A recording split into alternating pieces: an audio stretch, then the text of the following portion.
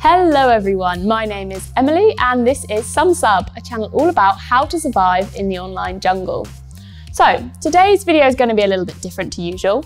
I'm not going to tell you how to delete your social media account or how to launder millions of dollars with the help of NFTs because, well, we've already talked about that. Today, actually, I'm asking you to immerse yourself in the world of art, more specifically vintage art, and join me as I conduct a small experiment. With the help of neural networks and modern technologies, we'll try to revive the early beauties of the last century so that they literally emerge from pin-up posters and appear before you on the screen. Will a neural network, having only a drawing at its disposal, be able to turn our 2D illustrations into a moving image of a real person? To help us evaluate the work of artificial intelligence, we'll compare the results to real-life photos of these pin-up girls. Now, personally, I'm ready to go back in time and look into the eyes of our reincarnated pin-up girls, so let's go.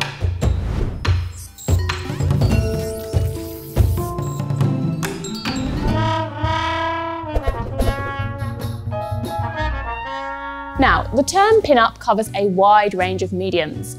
It can refer to drawings, paintings, and other illustrations as well as photographs. But why did I decide to experiment with pin-up images?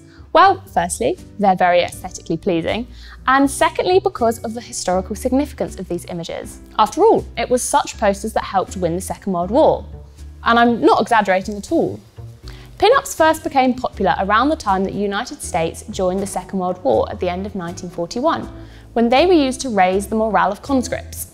The way they created these pin-up illustrations was that first they took a photo of the model in the required pose, and then based on this photograph, they created a colourful illustration. Drawings of pretty girls were placed on the covers of magazines, on posters in cinemas, used to advertise a variety of products, and they also decorated military equipment. Soldiers painted these fictional beauties on their combat vehicles, as well as their wives or famous movie actresses. This kind of art even got its name, nose art, because of the appearance of these drawings on combat aircraft, or more specifically, the nose of the aircraft. Now, it's important to note that the pin-up is provocative but not vulgar. Moderate nudity of the model was, as a rule, accidental. A gust of wind, for example, could inadvertently lift the dress and expose the legs. As I've already said, the basis of the drawing was a photograph of the model, and usually it was a famous actress or actors that then became models. And yes, male pin-ups did also exist, but it was a lot less popular.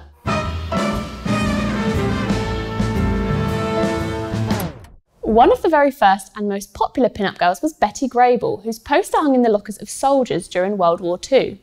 Later, this picture was included by Life magazine in the list of 100 photos that changed the world. With the help of neural networks, we were able to revive one of the pin-up posters. This is an advertisement for cigarettes released in 1944. A little magic and...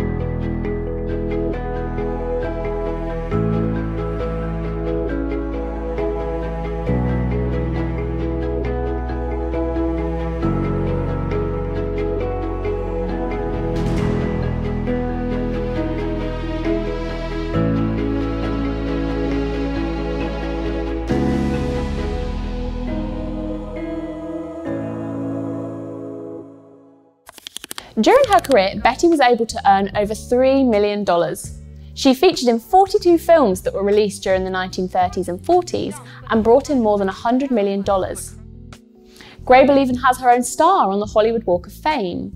Her legs were insured by the British company Lloyds of London for $1 million. As Grable herself said, there are two reasons for my success and I stand on both.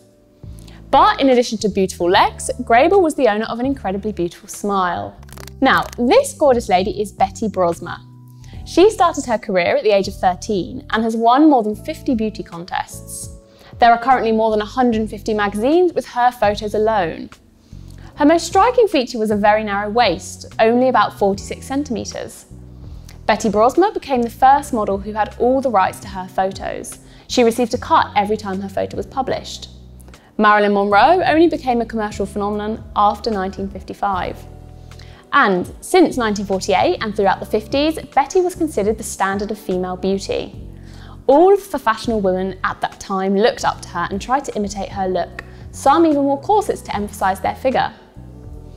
By the way, the secret of Brosmer was actually quite simple. She loved sports and carefully monitored her physical activity and nutrition. In the late 1960s, the owner of the Wasp Waist, as it was sometimes referred to, met the bodybuilder Arnold Schwarzenegger. The young people became friends and began to work together to popularise fitness. This year, Brosmer will be 86 years old, and she still looks amazing.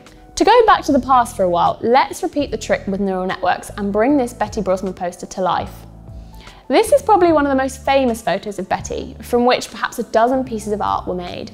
In it, Brosmer flaunts her famous tiny waist, but right now we're more interested in her face.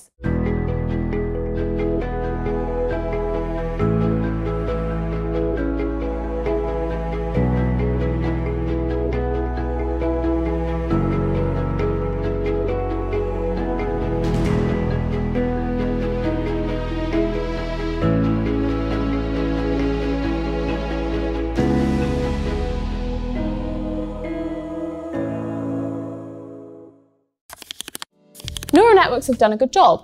I think this animation really shows us what Betty Brosmer looked like more than half a century ago. Now, if Arnold Schwarzenegger happens to be watching this video, then Arnie, you should write in the comments how successful our experiment was. Remembering the 40s of the last century, it would be a mistake not to mention the beautiful Ava Gardner. The owner of The Face of an Angel and the Body of a Goddess, as the American actress and singer was once described, was one of the brightest Hollywood stars of the 40s and 50s.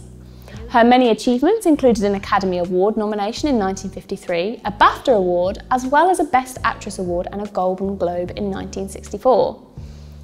Now, Gardner also had an unsurpassed sense of style, which had a huge impact on fashion trends in post-war America and beyond. In a classic rags to riches story, an ordinary farm girl from North Carolina became an icon of Hollywood. As a basis for the live photo, we took one of the posters for the film that Gardner featured in, and here's what happened.